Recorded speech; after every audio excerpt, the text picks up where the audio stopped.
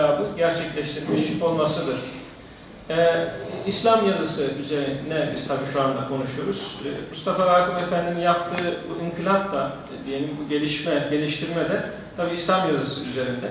İslam yazısının doğuşu da e, İslamiyetle birlikte, yani yazı olarak İslamiyetle birlikte doğmamış ama Nabati kavminin yazısı geliştirilerek İslam yazısı e, buradan devam ettiriliyor. Ve ilk İslamiyet'in doğuşunun ilk bir, birinci asrı içerisinde imla gelişimi üzerinde duruluyor. Yazı şimdiki gelişmiş şekliyle imla olarak da, sanat olarak şimdi bahsetmiyorum, imla olarak da şimdi kullandığımız gelişmişlikte değildi. Yani birbirine benzeyen harf şekilleri ni tefrik eden noktalamalar yoktu. Bu ne demektir?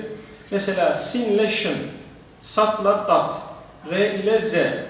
Ondan sonra e, bunları birbirinden ayıran birer noktadır. Nun ile e, işte Şey, yazı. ile efendim y ile işte şey bunları ayıracak e, efendime söyleyeyim birbirine benzeyen harf şekillerini birbirine ayırt, e, ayırt etmeye yarayacak noktalamalar yoktu. Bunlar o ilk İslamiyet'in zuhurundan itibaren ilk yüzyıl içerisinde dil bilginleri tarafından geliştirilmiş hususlardır.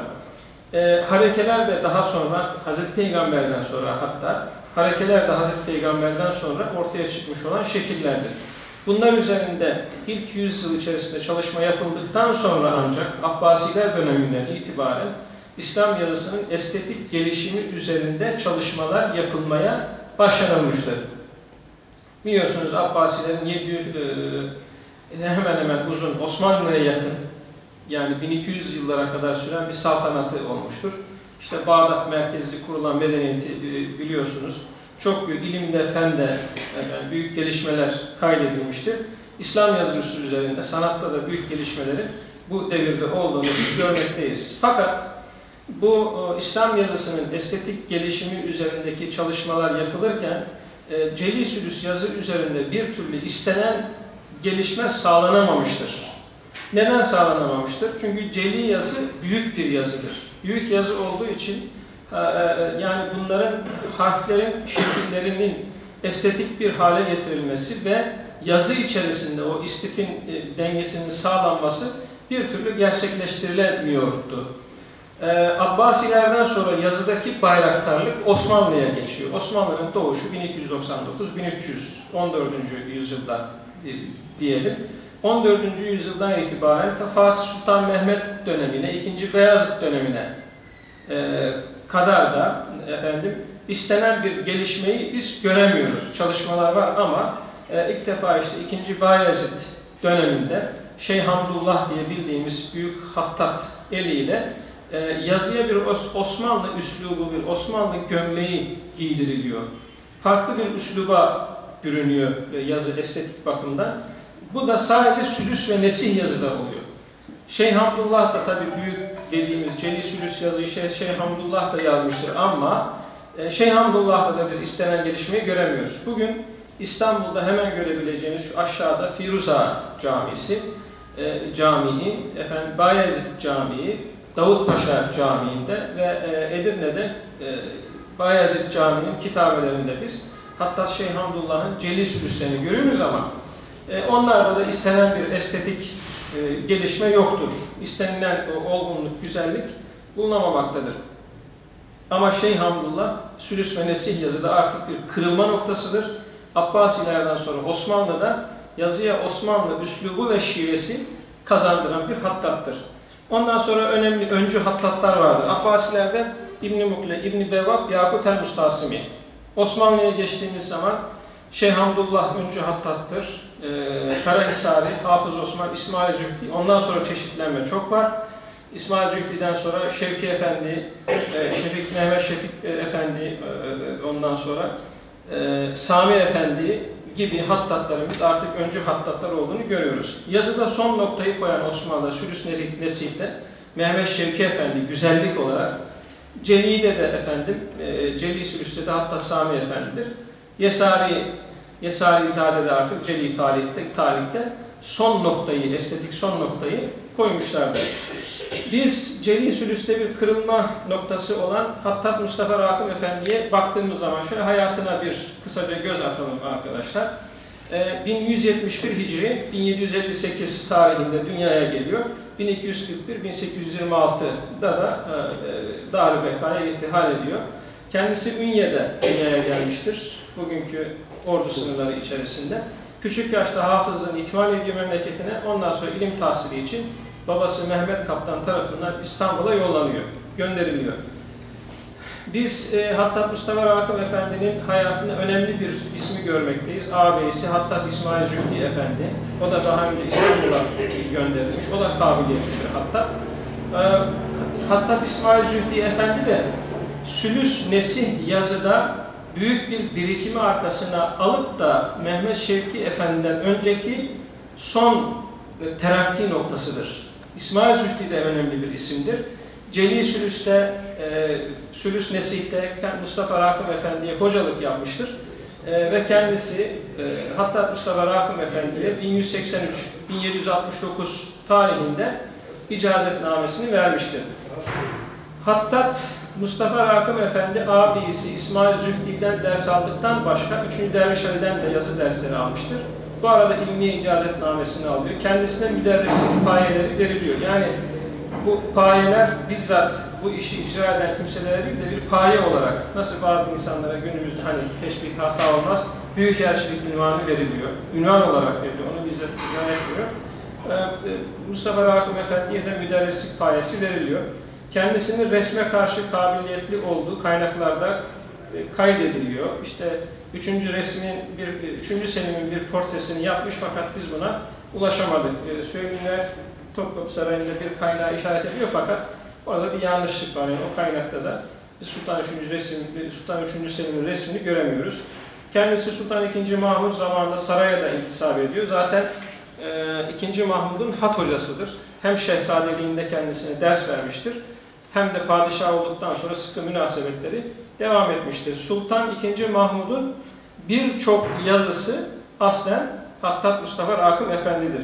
Bu durum yani yazıyı hocasının yapıp altına talebesinin isminin atılması, imzasının atılması veya sevdiği bir başka arkadaşının, dostunun işte çalıştığı, yazı çalışan birinin imzasının atılması geleneği eskiden beri var. Bugün de var. Yani bugün de hoca işte yaşlıdır Kendisi yazmıyor, başkası yazıyor. Altı şey, e, talebesi yazıyor, altına hocasının imzasını atıyor. Bu eskiden beri e, devam eden bir gelenektir. Bugünkü Ünye'den bir görünüş arkadaşlar. Bir sahil kasabasıdır, güzel bir sahil kasabasıdır. Bir başka görünüş. E, az evvel söyledim, e, Hattat Mustafa Rakım Efendi İsmail Zühdi'nin öğrencisidir. Kendisi aynı zamanda abisi oluyor İsmail Zühdi Efendi. Kendisine 12-13 yaşında icazetname veriyor. Bu icazetname bugün Topkapı Sarayı Müzesi'ndedir. Gördüğünüz gibi 12 yaşında yazmış olduğu Sülüs ve Nesih yazı, şu gördüğünüz, nereden, şöyle göstereyim ben size. Bakın şu Sülüs, oraya da geliyor değil mi? Şimdi? Evet. Size şey göster, götüreyim bana. Siz zahmet etmeyin. Şurada varsa. Ha, evet. evet. Ee, şu üstte gördüğünüz sülüs satır Kâlen Nebiyyü sallallahu aleyhi ve sellem ve altta nesih satırlar 2, 4, 5 satıra baktığınız zaman ileride nasıl bir e, kabiliyetin ortaya çıkacağını biz bu icazetnameden e, görmekteyiz. Gerçekten kabiliyetli bir hatta. Şu Mustafa Rakım Efendi için çokça söylenir. Tabi iyi bir eğitim almak önemlidir. Kabiliyet tabii ki önemlidir. İyi bir eğitim almak önemlidir. Ama kendisi aynı zamanda cesur bir sanatkardır. Rakım Efendi'nin her yazısında bir başka nükte vardır, sanat nüktesi vardır. Ve bunları cesurca arkadaşlar bu yazılarında hatta Mustafa Rakım Efendi kullanmıştır. Şurada bakın e, Hattat Turan sevgili ağabeyimiz bizim. E, aynı zamanda ressamdır. Hattat Hamit Aytaç'ın e, tanırsınız hocam siz. E, Hattat Hamit Aytaç'ın icazetli öğrencisidir. E, hem ilahiyat hem güzel sanatlar tahsili vardır. İyi de bir ressamdır. E, zannederim 36 kadar basıldı kültür geçen 36 kadar Hattat'ın muhayyer resimlerini yaptı. Resimleri olanların, resim fotoğrafları olanların fotoğraflarından yağlı boya yaptı. Olmayanların muhayyer portrelerini çizdi. Onlar da Kültür AŞ tarafından basıldı. Burada işte e, Hattat Mustafa Rakım Efendi'nin bir muhayyer resmini görüyorsunuz. Bu da ağabeyisi ve aynı zamanda yazı hocası olan İsmail Zühdi Efendi'nin bir portresi. İsmail Zühdi Efendi'yi az evvel bahsettim. Sülüs ve Nesih yazıda arkadaşlar büyük bir birikimi arkasına almış. 1806 yılında vefat etmiştir. Kabri Edirne kapıdadır. Büyük bir e, birikimi arkasına almış. Son önemli hattattır. Ondan sonra artık bir patlama görüyorsunuz siz. 18. asırda 19. asır hat sanatının zirve yaptığı bir dönemdir ama arkasında 18. asır daha büyük asırlar var ama 18. asır gibi de büyük bir birikim var. O birikim birden 19. asırda patlıyor arkadaşlar. 20. asırda patlıyor gidiyor diyor ya patladı gitti e, ondan sonra. Bu bakın İsmail Zühdi Efendi'nin bir e, Celi Sülüs yazısı arkadaşlar. Hazreti Ali El Murteza Hasan Hüseyin radıyallahu anh. Hocam zahmet etmeyin. Bulamadım. Lütfen, Ya, lütfen boş. Ben bundan şey yapıyorum. Bu o, e, şeyde görmüştüm bu yazıyı 20 sene önce. Nişantaşı'nda bir müzayedede hemen fotoğrafını almıştım. Bu yazıyı aynen e, ileride Mustafa Rakım Efendi taklit ederek yazmıştır. Şurada bakın arkadaşlar, görüyorsunuz bu da İsmail Zühdi Efendi, hocası Mustafa Rakım Efendi'nin Sülüs Nesih bir kıtasıdır.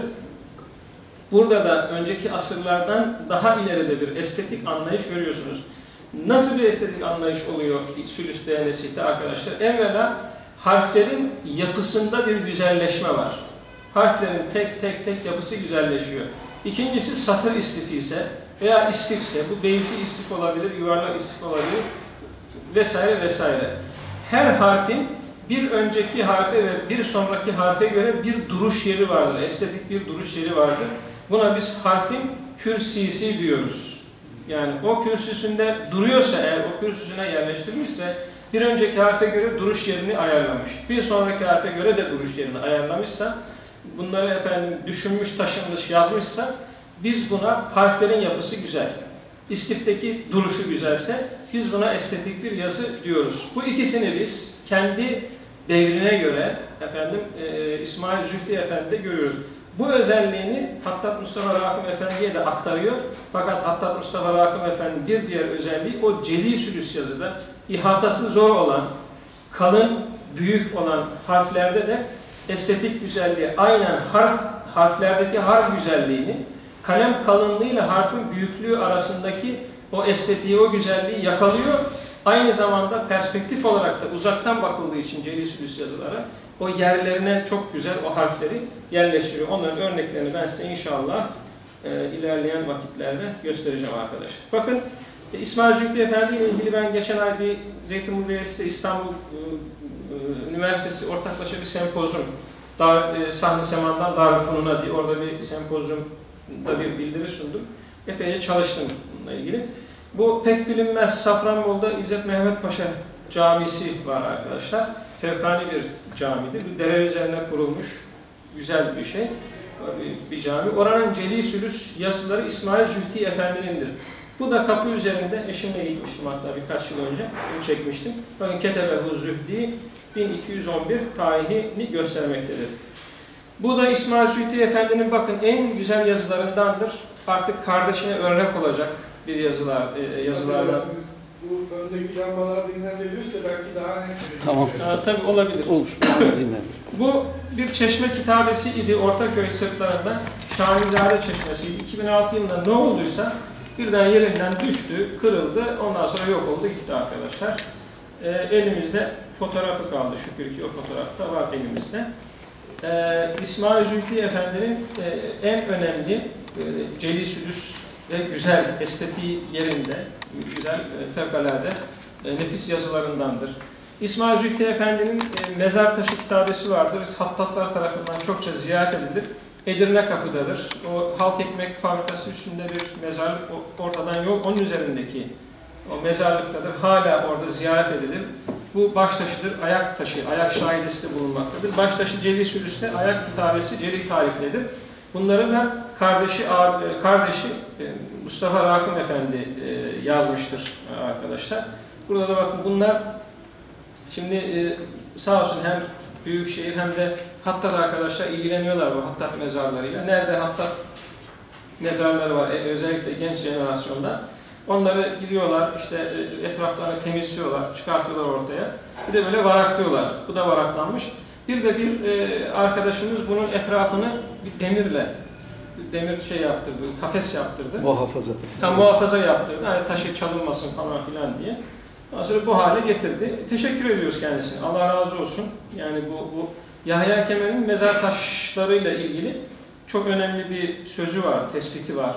Diyor ki kırık bir mezar taşı kitabesine 40 bohçaya sarılı, mezarı e, sakalı şerif gibi sahip çıkmazsa ne vatan kalır, ne millet kalır, ne milliyet kalır, ne, ne din kalır diyor. Gerçekten bu önemli bir şeydir, tespittir arkadaşlar. E, bu bir metafordur, hani bir benzetmedir. Mezar taşı kitabesi öyledir, bir çeşme öyledir, bir tarihi eser öyledir, köprü öyledir, şudur, bu, bu, şu, bu öyledir. Neden? Bizim ecdadımızın o topraklara vurmuş olduğu bir mühürdür. O, o mühür, mühürler orada bizim yaşadığımızın en büyük e, şahididir, kanıtıdır ondan sonra. Mezar taşı kitabeleri de öyledir. Bir anekdot var, çok hoşuma gider, onu hep anlatırım ben, kaynaklarda geçer. Bu o, işte Birinci Dünya Savaşı sıralarında e, Doğu Anadolu'da işgal edilen yerler var. Kars, Ardahan, Erzurum işgal edilmiş Ruslar tarafından. İşte büyük devletler olaya müdahil olmuşlar. İşte biz diyoruz buraları bizim, Ermeniler diyor bizim, şu bu. İşte münazara, münakaşa var. Erzurum'da bir konferans toplanıyor, bir toplantı var. Amerika heyeti var, işte temsilcisi var. Büyük devletlerin temsilcileri var. Bizim temsilcimiz var. Uzun münakaşalar. Burası sizindi, bizimdi, işte biz çoktuk, siz azdınız. Ee, Bir ara belediye reisi insanları pencere kenarına çağırıyor. Diyor ki bakın şu mezarlıklara diyor, şu kocaman mezarlık Müslüman mezarlığı diyor, Türk mezarlığı. O yanındaki küçücük mezarlık da diyor, Ermeni mezarlığı diyor. Madem burada çoktular da bunlar ölülerin yedi mi diyor. Yani ölülerin de çok olması lazım diyor. Böyle bir argüman. Gerçekten öyledir. E, tarihi eserlerin öyle bir özelliği vardır. Ben de nereden geldik? Yani bu genç arkadaşlarımız e, kendi üzerlerine görev aldılar. Hattat mezarlarını ortaya çıkarıyorlar. Böyle varaklıyorlar. Efendim etraflarını temizliyorlar. Biz bunlara teşekkür ediyoruz arkadaşlar. Allah razı olsun kendilerinden. Hattat Mustafa Rakım Efendi'nin e, üç tane önemli öğrencisi var arkadaşlar. Bunlardan bir, bir tanesi Sultan II. Mahmut'tur. Şehzadeliğinde Sultan II. Mahmud'a hocalık yapmıştır. Biliyorsunuz şehzadeler e, gözetim altında tutuluyor. Dışarıyla pek irtibatları yoktu. Hocalarla bile irtibatı işte posta gibi şeylerle, aracılarla oluyordu. Sultan Mahmud'un böyle yazışmaları, işte hocası yazıyor, şurayı şöyle yap, Sultan Mahmud sonra yazıyor, işte Şehzade o zaman, Mustafa Rakım'a yazıyor. O yazışmalar Topkapı Sarayı'nda var, efendime söyleyeyim. Ee, daha sonra sultan olduktan sonra tabii yakınlıkları daha çok artıyor. Birçok e, camilerde daha çok vardı da 15-20 senede biraz kaldırdılar. Depolara falan kalktı. Ee, Sultan Mahmud imzalı levhalar var arkadaşlar. Bu Sultan Mahmud imzalı levhaların birçoğu hiç değilse Mustafa Rakım'ın e, tasihinden geçmiş. Bunu nereden anlıyoruz? Biz e, Türk İslam Eserleri Müzesi'nde Sultan e, Hattat Mustafa Rakım bütün yazı kalıpları Türk İslam Eserleri Müzesi'nde muhafaza ediliyor. Bu kalıpların hepsine baktık. Bakıldığı zaman birçok işte hocasının yazmış olduğu yazı, daha sonra Sultan Mahmut e, imzası efendim ortalıkta görüküyor. Bir mesela kitabe var şu anda, taş kitabeler, mermer kitabeler, Türk İslam Eserleri Müzesi'nde fevkalade yazısı. E, imzası da çok güzel.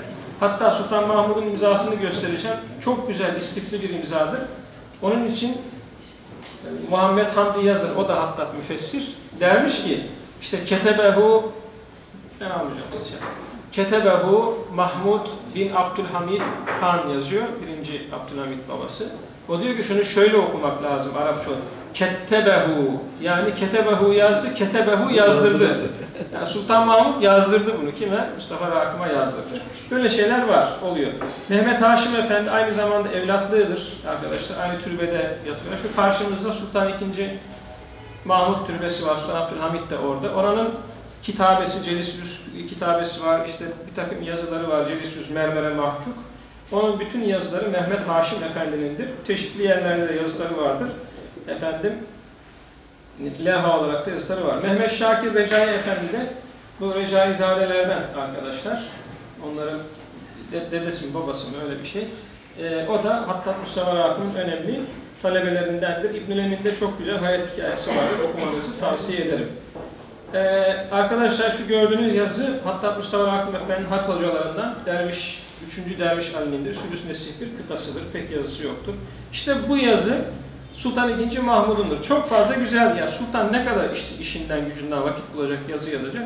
İşte bu gördüğünüz yazı her şeyiyle, imzasıyla, şuyla buyla e, Sultan II. Mahmud'un bir levhasıdır arkadaşlar. Bakın bu levha da Sultan II. Mahmud'un mu değil tabii ki.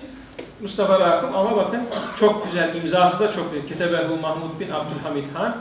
Bu Sultanahmet Camii'ndedir. Ya eyyühen- nebiyyü inna ersalnake şahiden ve mübeşşiran ve nedira. Güzel bir levhadır. Orada duruyor arkadaşlar. Sultanahmet benim çocukluğumun geçtiği yer. Sağ tarafta. Değil mi? Sağ Evet, babam burada görevliydi şeyde. Çok yani çok hatıram var. İlk çocukluğum, ilk gençliğim burada geçti. Sultanahmet Camii'ne çok çok giderdim, çok severdim. Daha boştu, sakin, sessiz, sakin. Bu levhalar hep çocukluğumdan beri gördüğüm, orada duran, muhafaza edilen şükür ki güzel levhalardandır arkadaşlar. Bakın bir yazı daha göstereceğim. Hemen tanıyacaksınız. Eski bir fotoğraf. Ayasofya Camii'nin mihrap sofasında sağda çok büyük hocam bunun tamiratı yapıldı. 3-4 sene çıktım. Ölçüleri falan aldım. Ee, bu yazı Sultan II. Mahmut imzası var. Bu yazı için diyor zaten Elmalı Hamdi yazı. Bu yazının imzasını ketebehu değil, kettebehu Arapça bir oyun. Yani bu yazıyı Sultan II. Mahmut yazdırdı manasında olması lazım diyor. Büyük bir levhadır. Orada arkadaşlar hala bu, bu levhaların hepsi orada duruyor arkadaşlar. Ay- Ayasofya'da duruyor. Az evvel Mehmet Haşim Efendi'den bahsettik. Evlatlığı talebesi. Şurada Sultan II. Mahmut Türbesi hemen içeri girip kapının arkasındaki besmele, mermere mahkuptur. Tam bir rakım. Rakımı aynen taklit eden öğrencisidir. Rakımın kuşak yazılarını göstereceğim. Bakın bu da talebesi Mehmet Haşim Efendi'nin Mülk Suresi e, Sultan II. Mahmut Türbesi'nde kuşaktır. Uzun 40-45 metrelik bir kuşaktır arkadaşlar. Harflerin dağılımını görüyor musunuz arkadaşlar? Bir, burada iki husus var. Güzelliği oluşturan. Harflerin yapısına tek tek baktığınız zaman harflerin yapısı ölçüsündedir ve güzeldir. İki, espasa baktığınız zaman, leke dağılımına baktığınız zaman arkadaşlar gözü rahatsız edecek bir şey yoktur. Harfler dengeli bir şekilde dağıtılmaya çalışılmıştır. Bu da arkadaşlar Eyüp Sultan'da Recai, e, Mehmet Şakir Recai'nin ve babasının yan yana mezar taşı kitabeleri. Beybaba Sokağı'nda imarethanenin karşısındaki set üzerinde e, mezar hala duruyor. Bu da arkadaşlar e, Pertemniyel Valide Sultan Camii, Eyüp, şeydeki Aksaray Valide Sultan, onun arkasında güzel bir hazire vardır. Pek bilinmez. Orada çok güzel mezar taşları vardır. Orada bir mezar taşı kitabesidir. Hattat Mustafa Rakım Efendi'nin eserleri nerelerde arkadaşlar? Türk ve İslam Eserleri Müzesi'nde bütün yazı kalıpları çok şükür çok iyi bir şekilde muhafaza ediliyor. Hani bir şehir efsanesi vardır. İşte müzelerde eserler çok kötü, çok berbat şu bu. Değil tabi o kadar da hani. Bunlar nihayetinde orada bir insana zimmetli, olabildiğince güzel. Türk İslam Eserleri Müzesi de ben bilirim, hocam daha iyi bilir. E, Darü Ziyafe'deydi. Orada ben birkaç kere ziyaret etmiştim. 83'ten, 80'den önceydi. Ondan sonra buraya İbrahim Paşa Sarayı'na burada da çelik kasalar içerisinde çok güzel muhafaza edilmiş. Şimdi de çok modern orası depolar çok modern bir şekilde yapıldı. 3-4 sene önce restorasyondan geçti. O çimento zamanında çimento duvarlara yapılan çimento sıvalar döküldü, güzel aşıldı falan filan. O Türk İslam Eserleri Müzesi'nde yazı kalıpları var ve Eyüp Mihrişah Sultan Türbesi'nden getirilen Hilye-i Şerifesi var. Bunu ben e, Zeytin Belediyesi'ne bastırdım. Güzel çalıştırdım şöyle lüks baskı. E, yani kendi asli boyutunda. Ücretsiz dağıtıldı. Herhalde bu şeyde de bu kitap basımında da o tekrar basılıp ücretsiz dağıtılacak. Topkapı Sarayı Müzesi'nde işte çok yazısı var arkadaşlar. Tuğraları var ondan sonra. Onları ben kitabımda taadat etmiştim. Tezimde de taadat ettim. O tez de herhalde YÖK'ten şey yapılıyor, indirilebiliyor. Vakıflar Türk Has Sanatları Müzesi'nde eh, eserleri var. Yani orada da eserleri var. Ee, İstanbul Üniversitesi Nadir Eserler Müze- Müzesi, kütüphanesi dedim orada Hadikatül Cevami isimli yazma bir nesih nüsha var. Çoğaltmış onu arkadaşlar. Ha tabii nesihi çok şey değil. Çünkü daha çok celi sülüsle uğraşmış. Bir hafta. Eyüp Sultan Türbesi'nde bir Zelendut yazısı var ama şöyle kalıbından daha sonra yapılmış, kendisi vefatından sonra imzası atmış ama kalıbından bu da benim kitapta var. Cihangir Camii'nde yine kalıbından yapılmış eserleri vardı. Cihangir Camii'ndeki yazılar bundan 10 sene önce tamamı kaldırıldı. 30-40 tane levha vardı orada. Onlara ben şükür ki 2000 yılının e, Haziran ayıydı. Hepsini çok güzel bir gün boyu çalışmış güzel Fotoğraflarını almıştık o zaman slaytla. Sonra onu ben AD Art Dekor'a tamamını yayınladım, neşrettim. Neşrettik, kaldı. Tamamı şimdi depoya kaldırıldı.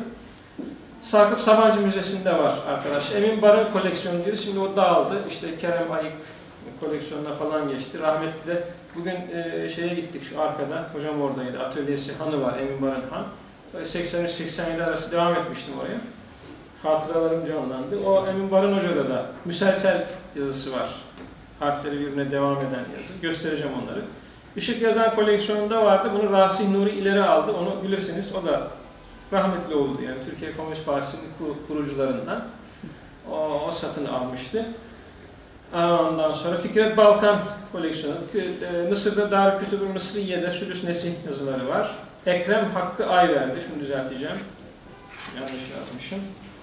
Koleksiyonunda Rakım'ın yazıları bulunmaktadır arkadaşlar. Şimdi e, Hattat Mustafa Rakım Efendi'nin bazı eserlerinden nokta olarak bahsedelim. Az evvel gösterdiğim İsmail Zühtü Efendi abisi, onun e, baş şairesi, ayak şairesi, Celil Sülüs, Celil Talip olmak üzere e, Hattat Mustafa Rakım Efendi. Miskinler Çeşmesi, Celil Talip kitabesi var. Miskinler Tekkesi arkadaşlar Üsküdar'da. Çeşmesi kaldı, tekkesi yok. Miskinler ve Cüzzamlar Tekkesi. Cüzzamları işte oraya, o cüzzam Allah muhafaza hiçbir şey hissetmiyorsun.